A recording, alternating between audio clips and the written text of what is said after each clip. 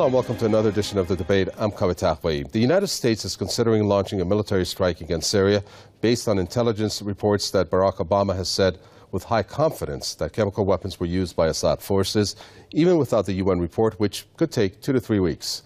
A military strike, which the U.S. said would be limited yet open to last 90 days. Meanwhile, the Russian President Vladimir Putin has said that U.S. Congress had no right to approve the use of force without a decision from the UN Security Council and that doing so would be an act of aggression, with the Syrian Deputy Foreign Minister Faisal Muqdad to have said Syria will not give in even if there was World War III. The world is waiting to see whether the United States will go ahead with what its threats against Syria and officials in the White House have promised would be limited strikes on the country. The U.S. president still remains defiant to international calls to wait for UN inspectors to complete their report on an alleged chemical attack in Syria last month. Uh, the international community cannot be silent, and that failing to respond to this attack would only increase the risk of more attacks, uh, and that possibility that other countries would use these weapons as well. Congress will start debates over Obama's plan for a Syria military strike next week but serious questions still prevail. Democrats and Republicans on the Senate Foreign Relations Committee have agreed on the content of a resolution that will give U.S. President Barack Obama the authority to attack Syria for a period of 60 days with one 30-day extension. The question now, how come a campaign that had been originally meant to be limited has now been extended to be conducted for 90 days? There's concern that Washington is preparing for a much bigger military action, and this has already raised objections from other world leaders. In line with international law, only the UN Security Council could sanction the use of force against a sovereign state. Any other pretext or method which might be used to justify the use of force against an independent sovereign state is inadmissible and can only be interpreted as an aggression.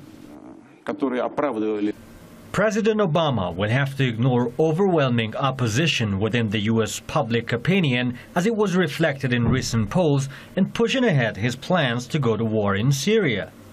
Nevertheless, the main points of criticism against him are that the U.S. is rushing into an action without thinking about its consequences and more importantly, its attack on a sovereign nation comes without a UN mandate, which is in violation of international law. The UN, the UN Charter principles about what may and what may not constitute an attack on another country only in self-defense. It makes it very clear on that. They can never do it preemptively or for any other reason. The Security Council alone has final say. That is U.S. law as well as international law. Obama intends violating it. It won't be the first time an American president did, but we're heading into another lawless war of aggression, Kaveh. It literally could start any time. I would imagine it'll be sometime after Obama gets back from St. Petersburg Thursday and Friday for the G20 summit. In what many say is a messy handling foreign policy, one thing is certain to happen for the administration of President Obama. Washington's credibility, as Obama has said, is on the line. And that credibility could suffer as a result of Obama's performance over the Syrian case that's been anything but stable, coherent, and clear. Let's see if we can get some clarity on this uh, topic from our guests. Let me introduce them. We have former U.S. Marine and war veteran Kenneth O'Keefe joining us from London, and Stuart Stogel. He's from Newsmax magazine, and he joins us from New York. Gentlemen, welcome. Stuart Stogel, I'd like to start with you. Obviously, so many things we could start with, but our starting point I'd like to start with is the Russian angle, who has rejected the U.S. evidence on this Syrian chemical attack. This is what the Russian foreign minister has said, Stuart Stogel. We were shown uh, certain pieces of evidence that did not contain anything concrete. He said neither geographical locations, nor names, nor evidence that samples had been taken by professionals. And he even said there were no facts. There's simply talk about what we definitely know but when you ask for more detailed evidence, the U.S. says it's all classified, therefore it cannot be shown to us. Well, I think some of that's going to be clarified uh, this weekend in St. Petersburg.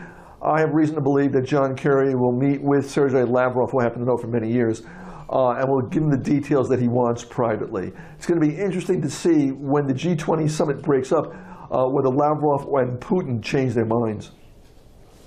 Kenneth O'Keefe, uh, let's talk about the U.S. military action. It's quite confusing. It went from a limited strike, initially set to last for 24 to 48 hours. Those were some of the statements coming from Obama. And now it seems like it's an open ended 90 day timetable. What's your reading into that? Uh, General Dempsey saying it's not uh, bound to uh, uh an immediate attack. It could be done in days or weeks from now. It almost sounds like this is much wider in scope than initially introduced. Well, the whole thing is. No, this is for Ken O'Keefe. I'm uh, sorry. Even at our end. Ken O'Keefe, go ahead. Sorry. Well, we have to have some semblance of understanding of what's happening here. And the idea that America would strike in a so-called limited strike is, is really quite ridiculous. The ultimate end game here is to get to Iran. And the only way to really realistically get to Iran is to eliminate Syria as a threat. Because if there is a war on Iran, Syria will also be able to attack uh, Israel, its uh, nemesis, in tandem with Iran. And this is the important aspect of eliminating Syria as a tactical threat. So to say that there are going to be limited strikes is, uh, is really just an insult to our intelligence yet again. Ultimately, this is really begging a third world war and this is not a, this is not a joke, and, and everyone who's paying attention knows this.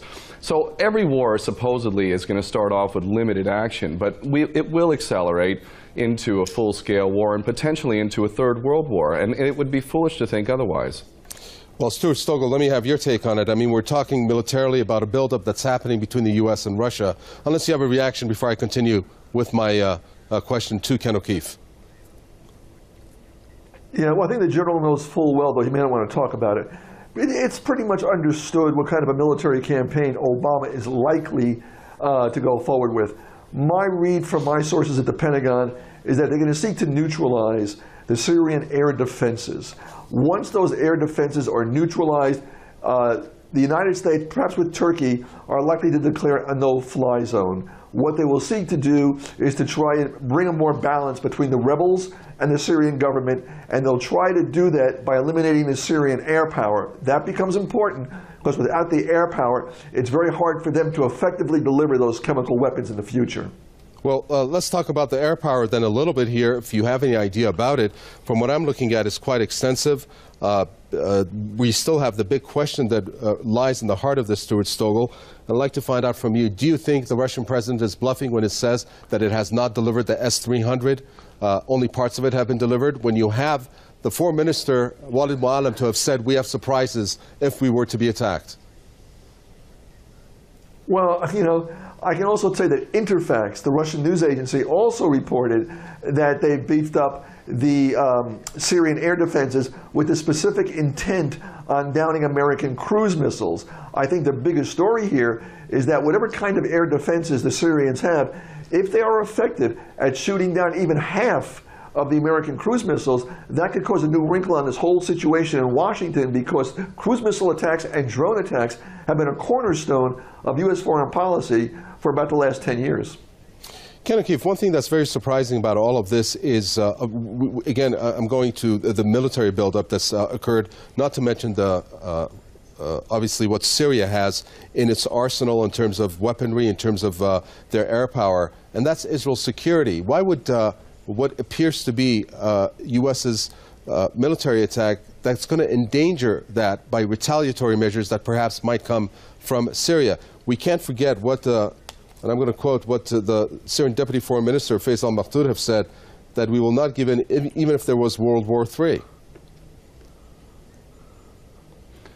Yes, I think it's really important for us to see the big picture here and, and really understand what's going on. The powers that be, which I will bring back to the bankers, those that control the issuance of money, these are the real powers. That's real power. As Baron Rothschild said in the 1800s, I care not what government's in power as long as I print the money. if you want to know what power is, you need to know who controls the money supply. And those, those people who control the money supply control the politicians, they control the corporations, they control the mainstream media, they control every aspect of human society with rare exceptions. The countries that we see being attacked right now are those countries that are not bought and paid for by the banksters. So Iran and Syria, Venezuela was also being targeted for getting out of the IMF debt. Libya was also not part of this game. Iraq was also part of this game.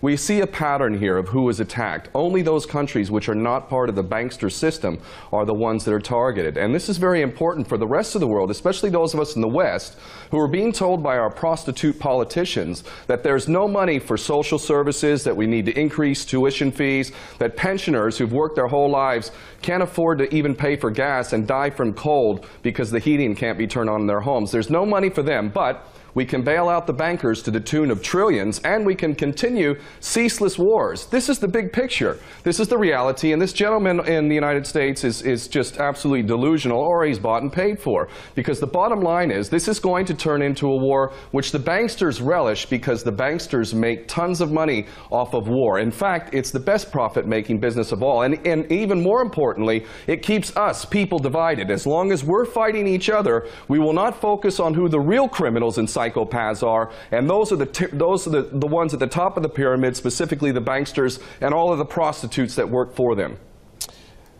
Stuart Stogel, uh, you know, it's quite uh, telling how the U.S. president has gone out of its way to try to get uh, approval, not only domestically but internationally. And we could talk about uh, the testimonies that, that, have been given to the House Foreign Relations Committee by Chuck Hagel, by uh, John Kerry, uh, and, and, overall, just uh, saying that, you know, with or without you, we're going to go ahead, but I'd like to get your approval. Again, whether it's domestically or internationally. Why is he so insistent about going about getting this when he has even said that even if we don't get it, we're still going to go ahead with this military strike? Why does that seem to be something that is now taking up so much time and opening up uh, this window uh, of a timeline to attack Syria?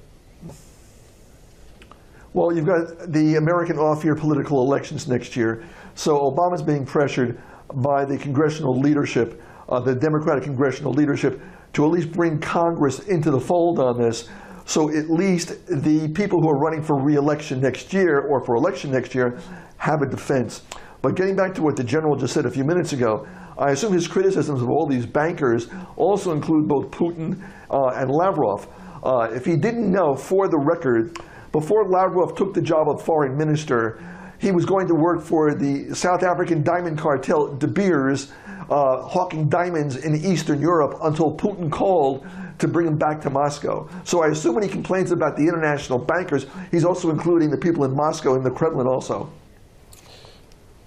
Interesting point. Ken yeah, I'll respond to that. I have absolutely no problem. Go ahead. I have absolutely no problem whatsoever accepting I have no problem whatsoever accepting that the corruption that comes from the bankster system, the financial fraud that is usury, uh, debt-based money being issued by private bankers. It, it, pervades every aspect of human society, including Russian society. There's no question about that.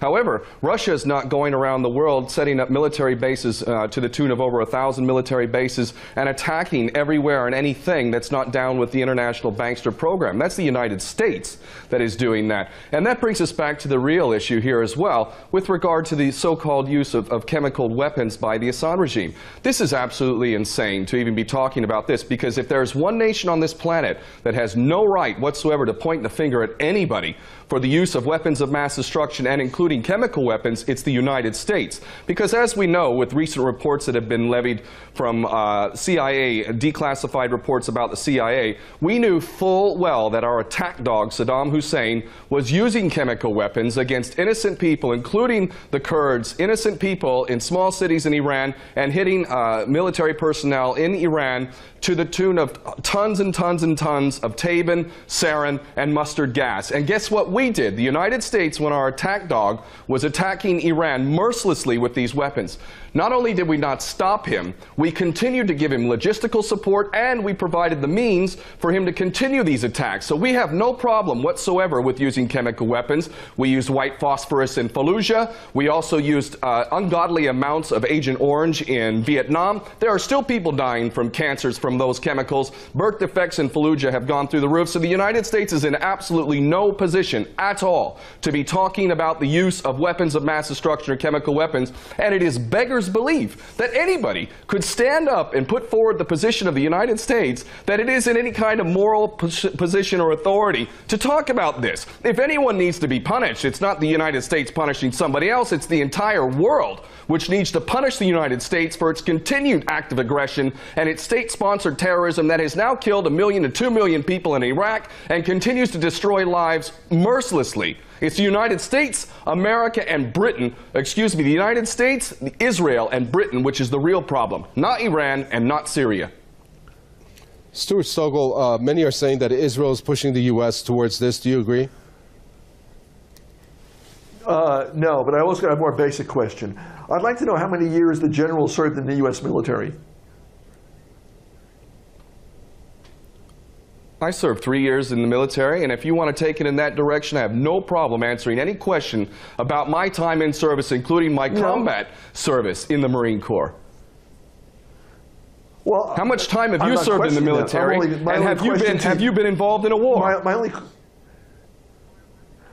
Well, I've, I've covered a war, but my question is very simple.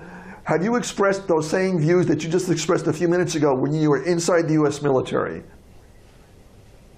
No, I was a brainwashed idiot, like so many of us who've been indoctrinated for years and years, pledging allegiance to the flag with liberty and justice for all. Saying that every single day ends up making you rather stupid. And I didn't know the truth about my country when I was 19 years old. I was an ignorant kid, and like so many other Americans, I didn't realize that until later. But thank God I actually woke up at some point and realized the truth. Well, let, let's let's move forward with this. Stuart Stogel, uh, inside Syria, you have a problem. Uh, aside from uh, what's going to happen in terms of military strike, there's going to be casualties. Uh, I mean, uh, if we want to look at missile strikes coming in terms of Tomahawk missiles, you're going to have people that may die because of this. There's also reports coming out that tens of thousands of Syrian refugees are returning from Lebanon to stand with their government. You have people inside Damascus that are uh, forming human shields around certain important uh, places. I mean, uh, is what's going to happen when you're going to have civilian casualties that could be a consequence of this military action? Again, my reading is that they're not going to go after military bases per se. They're going to go after the anti-aircraft uh, air defense system. Uh, so if there are any casualties, you can blame it on the Syrian government. As with Saddam Hussein, I still remember during the first Gulf War, and that little child Stuart had him on his lap. Stuart, have you eaten your cornflakes yet? I mean, was this, this kind of nonsense where these folks purposely take civilians, put them in areas which they fear are going to be hit, and then when they are hit, they are hit, then they complain that the Americans or the other side, they're destroying or they're killing civilians. They know full well what may be attacked, and it can easily keep civilians away from that. So there's really very little sympathy when you know the targets that are going to be attacked, and the government on the ground puts civilians there. They're the ones who are slaughtering those folks, not the American military. Do you agree with that, Ken O'Keefe? Absolutely not. If a nation from halfway around the world that had a history of violent, aggressive acts, including state sponsored terrorism, were banging down the doors of the United States or Britain and threatening us with attacks, with bombings, and so on and so forth, we would have every right to defend ourselves with whatever means we had. The people of Syria are voluntarily subjecting themselves to a potential harm, in fact, in, in potential death because they know that the fall of the Assad government and the destruction of Syria, as designed by those who fantasize about the Greater Israel Project, who want to destabilize and create sectarian divide and merciless killing for generations to come, that they have to do everything they can to defend their country. And the only thing they really have, many of them, is their bodies. So they are voluntarily submitting to that, and you have to admire you have to admire their strength and courage in doing so. What I would also say is that the tactic of using human shields, which is something that's close to my heart since I initiated the human shield action to Iraq back in 2002, 2003, is that the importance of human shields for foreign human shields, if indeed they are used, is that they must be deployed to places that are supposed to be protected by the Geneva Convention. So if what this gentleman says is true, which it's not, but let's just say that it is true, and they only intend to attack military sites, unlike what they did in Iraq, which is they attacked all sorts of civilian sites, such as water treatment facilities and uh, electrical power plants, food storage sites.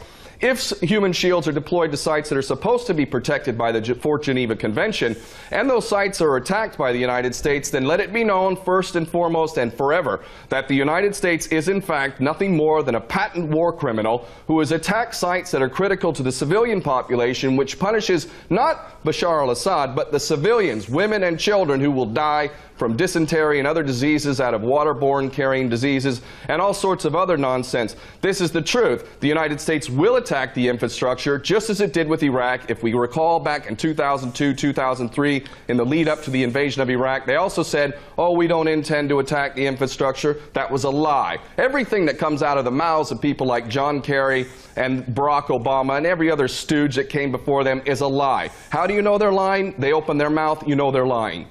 Well, one of the things that Barack Obama did say, Stuart Stogel, uh, unless you have a reaction again, uh, but I, would like to, since we're uh, uh, coming short of time, it was very interesting what Barack Obama said in his presser over in Sweden, uh, Stuart Stogel, and he said that when something ha bad happens in the world, uh, everybody is wondering what the U.S. is going to do next, what action they're going to take. And I'm going to line that up with what uh, this lawmaker Engel said in the House Foreign uh, Relations Committee.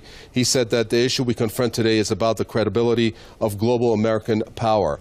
I mean, why is it that the U.S. thinks that it has to be policing the world? Why does it have to exert its global power? Is it that afraid of what, of what perhaps you can tell us? What, what is it that makes them feel they have to always be on top of this? Oh, I'll answer rather briefly. Let's get right back to Syria rather quickly. If we held open and fair elections today, internationally supervised, you think the Assad government would win, would win election? I'm not so sure about that. Why is the American government supposedly the world's policemen, they're doing some of the dirty work that other folks want to do but don't want to take the political heat. Because if the Americans don't do it, nobody else will, and you'll see complete chaos. So and it's rather ironic that everyone's calling Barack Hussein Obama a warmonger. When he ran for election in 2008, this was supposedly the liberal person who was going to put America on a more even keel and wasn't going to run around being the world's policeman. That was his campaign problem, uh, his campaign rhetoric. Now all of a sudden, about the only person who seems to have committed more war crimes than Barack Obama is Adolf Hitler. And Ken O'Keefe, uh, Stuart Stogels talks about how uh, the U.S. is doing the dirty work. I was under the impression that it was the Al Qaeda insurgents that are related to the U.S. in terms of the backing from the U.S. doing the dirty work. Your final comments. Well, let's be clear about this. We have no doubt that Al Qaeda associates, uh, Al Nusra Front, who were caught with two kilos of sarin gas in Turkey, that's not Syria reporting that, that's the Turks. And we know that we have provided material support to the so-called rebels in Syria. We also know that there are accusations that Israel provided the sarin gas to Prince Bandar, Bandar Bush as he's known, um, who delivered those uh, chemicals to the so-called rebels in Ghouta for the recent massacre. That's the rebels themselves who are saying that. So if that be true, and I believe it is, Barack Obama has provided material support to Al Qaeda, and this whole war on terror that we supposedly fought for the last uh, 12 years is nothing more than a farce used to justify military aggression by the United States at the behest of the banksters. That's my assessment of what's happening, and I can defend it with more time if I had it. Well, hopefully we'll have you back in another debate. Thank you very much. But that's it for this edition. Let me thank former U.S. Marine and war veteran Kenneth O'Keefe, who was just talking there from London, and from Newsmax magazine, Stuart Stogel gave us his comments from New York. Thank you for watching another edition of The Debate from Mika Betakwe and the entire team in the capital, Tehran. It's goodbye.